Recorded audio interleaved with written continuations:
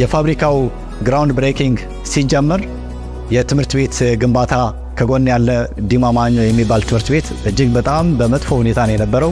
እንጨቱ የሚታይ በጭቃ የተሰራ አይነት ትምህርት ቤት ነው የነበረው። እሱን ለማደስ ሙሉ ለሙሉ ለመቀየር ቃል ገብተን የመሰረት ድንጋይ ስራ ጀመርን። በዛ መሰረት ስድስት ወር ባልሞላ ጊዜ ውስጥ አስር ክፍሎችን እና library ያለው እጅግ ዘመናዊ ትምህርት ቤት ለማህበረሰቡ በገባነው ቃል መሰረት አስረክበናል። ዛሬ የተገኘ ነው ይህን ትምህርት ቤትም የመብራትም የውሃም ችግሮቻችን ስለቀረፋችሁልን ልናመሰግናችሁ እንፈልጋለን ብሎ ማህበረሰቡ ጠርቶን ነው።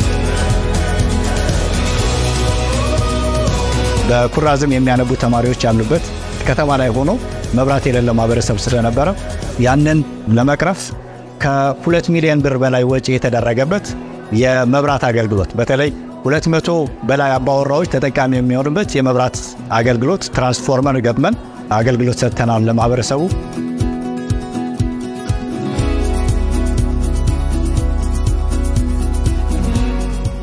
ከዛም ባለፈ ደግሞ ሶስተኛው ችግሩ የዚህ አካባቢ ማህበረሰብ ውሃ ነበረ። ሩቅ ቦታ እየሄዱ ስለሚገዱ የውሃ ቦኖዎች ትምህርት ቤቱ አጠገብ አስቀምጠናል። አሁን ከ800 በላይ የሚሆን አባወራ የዚህን ውሃ አገልግሎት እያገኘ ይገኛል። ይህም ከአንድ ሚሊዮን ብር በላይ ያወጣ ፕሮጀክት ነው። እዚህ ላይ ኤን ዮልንዶ የዚህ ፋብሪካ contractor በጋራ አድርገን ነው የሰራ ነው፣ አግዞናል። ስለዚህ ዛሬ እነዚህ ሶስት መሰረታዊ የማህበረሰቡን ችግሮች ሊፈቱ የሚችሉ ፕሮጀክቶችን ስለሰራን ማህበረሰቡ ልናመሰግናቸው ይገባል ብሎ ጠርቶ አዘጋጅቶን ነው።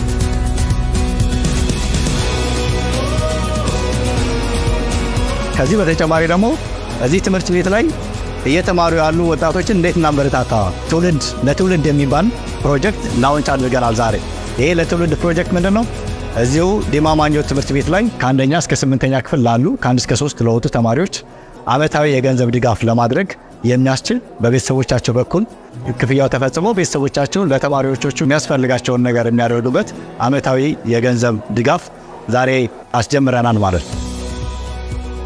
ለ24 ተማሪዎች 6000 በዓመት የሚሆን ጎበዝ በርቱ፣ የጀመራችሁት የትምህርት ውጤት በጣም የሚበረታታ ነው፣ ይህንን አስቀጥሉ ለማለት እና ወደፊትም ደግሞ ብቁ ትውልድ ብለው እንዲገኙ ኮካኮላ ከጎኔ ነው appreciate አድርጎኛል የሚለው መልእክት በራሱ ትልቅ ስለሆነ ለትውልድ የሚለውን የተማሪዎች ድጋፍ ፕሮግራም ዛሬ አስጀምረናል ማለት ነው።